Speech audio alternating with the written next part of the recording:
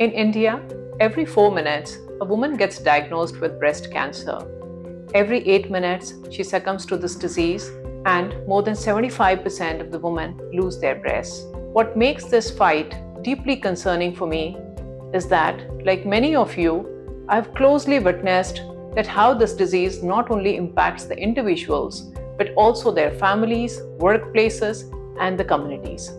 As a woman, I know firsthand how busy life can get.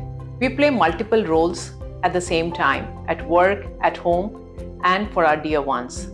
In all of this, it is easy to forget our own selves. That is why this campaign is so close to my heart. Hashtag Detect It Yourself is simple but powerful reminder that how our health should never take a backseat. It's about just more than awareness. It is about building a habit of self-care. 10 minutes every month of self-examination of breast can play a huge role in early detection.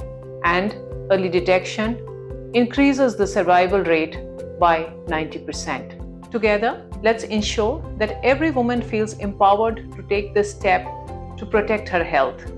I urge you all to spread this message as much as possible. Thank you.